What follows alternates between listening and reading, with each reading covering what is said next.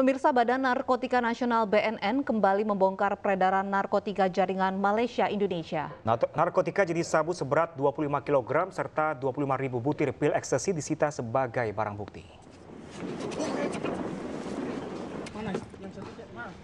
Inilah rekaman video amatir saat penangkapan tersangka dengan mobil yang berisikan narkotika. Narkotika jenis sabu dan ekstasi tersebut diketahui berasal dari Malaysia yang nantinya akan didistribusikan ke wilayah Sumatera dan Jawa.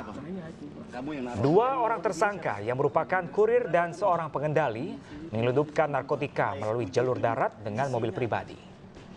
Mereka menyembunyikan barang haram itu di balik speaker mobil. Dalam pengungkapan tersebut, seorang pengendali yang diketahui bernama Jafar tewas karena mencoba melawan penyidik.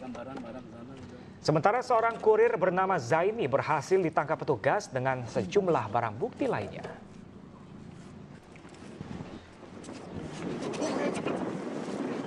Mana? Yang satu, Coba